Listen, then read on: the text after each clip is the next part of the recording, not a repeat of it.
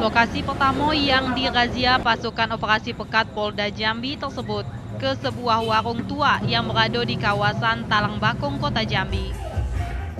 Di situ petugas cuma berikan peringatan lisan kepada penjual supaya tidak menjalankan usahanya lagi.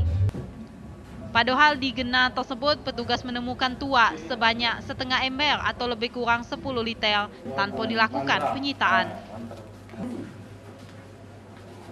Selanjutnya tim beranjak ke gena hiburan malam berjenis kafe dan diskotik yang bernama Momona.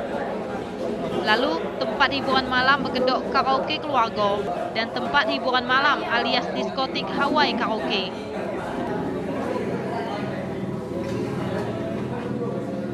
Petugas merazia pengunjung dan barang bawaan, bahkan juga wanita penghibur alias escort. Alhasil, tak sekok pun yang bisa diangkut petugas untuk diberikan sanksi hukum. Dari keempat lokasi yang didatangi, petugas kurang maksimal melakukan razia. Cuma sepintas BEM merazia sasaran. Itu sangat disayangkan, padahal misi operasi penyakit masyarakat bernilai positif yaitu dalam operasi tersebut melibatkan puluhan pasukan, terdiri dari tim Intel, tim Ditres Narkoba, dan Ditreskrimum, Polantas, Sabara, serta Brimob yang dibekali senjata api lengkap. Tim Liputan, Jambi TV.